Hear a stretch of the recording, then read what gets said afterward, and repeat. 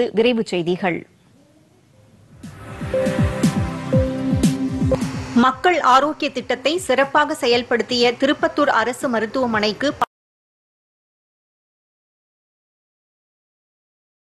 மக்கள் ஆரோக்கிய திட்டத்தின் ஆண்டு விழா நடைபெற்றது. இந்த திட்டத்தை சிறப்பாக செயல்படுத்திய திருப்பத்தூர் அரசு மருத்துவமனை மற்றும் வாணியம்பாடி தனியார் மருத்துவமனைக்கு பாராட்டுச் சான்றிதழ் வழங்கப்பட்டது. இதேபோல் முதலமைச்சரின் விரிவான மருத்துவ காப்பீட்டுத் திட்டத்தின் கீழ் ஒன்பது பயனாளிகளுக்கு நினைவு பரிசுகளும் ஐந்து பயனாளிகளுக்கு புதிய காப்பீடு அட்டைகளும் வழங்கப்பட்டன. மேலும் இந்த திட்டத்தை மக்களிடம் கொண்டு சேர்க்கும் பணியில் சிறப்பாக செயல்பட்ட மக்கள் தொடர்பு அலுவலர்கள் நான்கு பேருக்கும் ஆட்சியர் அமர் குஷ்வாகா பாராட்டு சான்றிதழ்களை வழங்கினார். தில்லி மற்றும் அதன் புறநகர் பகுதிகளில் பெய்து வரும் கனமழை காரணமாக தாழ்வான பகுதிகள் அனைத்தும் நீரில் மூழ்கி வெள்ளக்காடாக காட்சியளிக்கிறது. இதனால் மக்களின் இயல்பு வாழ்க்கை பெரிதும் பாதிக்கப்பட்டுள்ளது. பல பகுதிகளில் போக்குவரத்து நெரிசல் ஏற்பட்டு சாலைகளில் நீண்ட வரிசையில் வாகனங்கள் காத்திருக்கின்றன. முன்னெச்சரிக்கை நடவடிக்கையாக நொய்டா பகுதியில் உள்ள பள்ளிகளில் ஒன்றாம் வகுப்பு முதல் எட்டாம் வகுப்பு வரையிலான மாணவர்களுக்கு விடுமுறை அளிக்கப்பட்டுள்ளது. குர்கான் மற்றும் ஃபரிதாபாத் மாவட்டங்களில் உள்ள பல்வேறு தனியார் பள்ளிகள் இன்று விடுமுறை அறிவித்துள்ளன.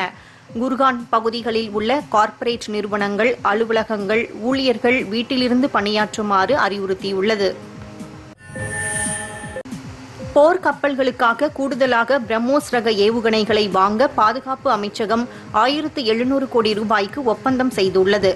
மத்திய அரசும் ரஷ்யாவும் இணைந்து தொடங்கியுள்ள பிரம்மோஸ் என்ற கூட்டு நிறுவனத்திடமிருந்து தரையில் இருந்து தரையில் உள்ள இலக்குகளை தாக்கி அளிக்கும் ஏவுகணைகளை வாங்க முடிவு செய்துள்ளது. இவை கடற்படையின் திறனை அதிகரிக்கும்.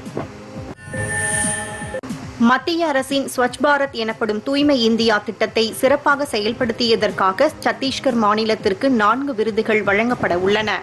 புதுதில்லியில் விஞ்ஞான் பவனில் நடைபெறவுள்ள நிகழ்ச்சியில் இந்த விருதுகள் வழங்கி கௌரவிக்கப்பட உள்ளதாக தூய்மை இந்தியா இயக்கத்தின் இயக்குநர் தெரிவித்துள்ளார்.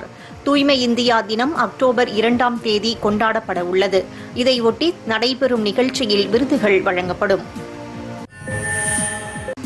இரண்டாயிரத்து இருபத்தி இரண்டு இருபத்தி மூன்றாம் ஆண்டுக்கான பிஎட் சேர்க்கைக்கான கலந்தாய்வு தேதியை கல்லூரி கல்விக் கழக இயக்குநரகம் அறிவித்துள்ளது.